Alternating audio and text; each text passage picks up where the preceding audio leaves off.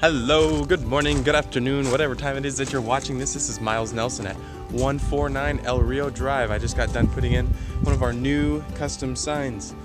If you want to know how we market our homes, give me a call 928 486 0248.